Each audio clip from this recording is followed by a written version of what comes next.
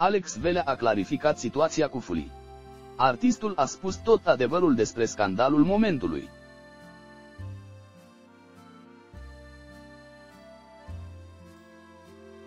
Alex Velea a decis să vorbească despre situația în care a fost implicat cu Fuli.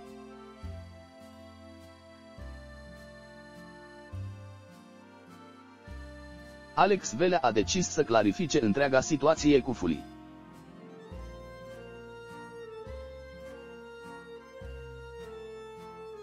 După ce fiul clejanilor a fost prins sub influența substanțelor interzise la volan și declarase că tocmai ce venise de la un grătar de la artist.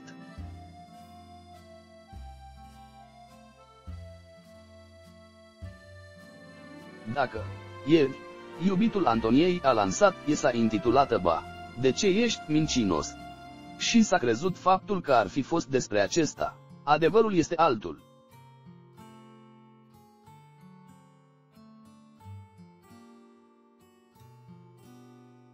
Pe contul său de Instagram, a postat un mesaj, în care explică faptul că piesa nu era cu trimitere către Efuli, ci spre o altă persoană.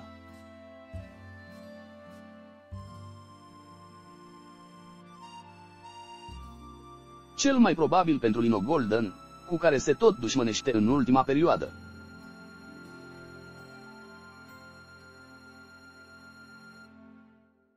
Ba, de ce ești mincinos? Nu e despre fulii.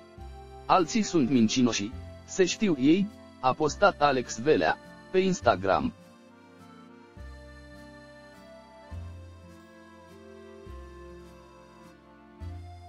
Fulii prins sub influența substanțelor interzise la volan.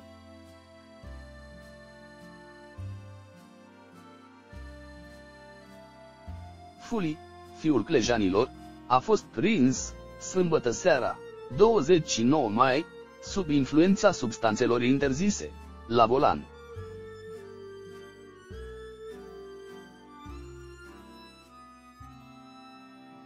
Ulterior, după ce a fost depistat pozitiv, cântărețul a fost condus la inimele, unde i s-au recoltat alte probe.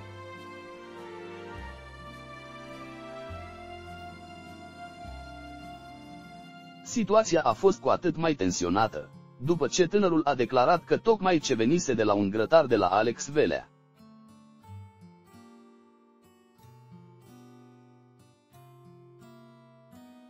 În legătură cu ieri, nu pot să zic decât că trăiesc într-o țară coruptă și doar atât.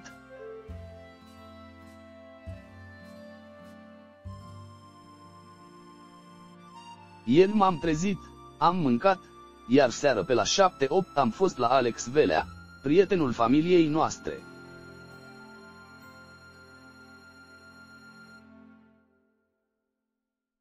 Am ajuns acolo la studio cu motivul de a face o piesă pentru cățelul meu. Am făcut un grătar cu toți băieții de la Golden Boy.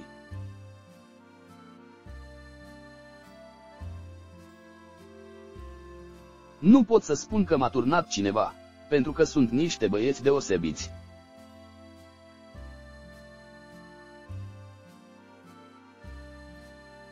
De obicei în studiuri, nu la Alex Velea, se fumează, pentru că este o substanță psihoactivă, care îți mărește secreția de dopamină, ceea ce înseamnă plăcere.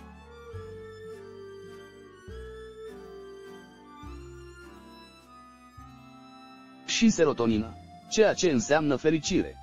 Automat atunci când te simți bine și ești fericit, e un plus, a declarat Fuli în fața jurnaliștilor.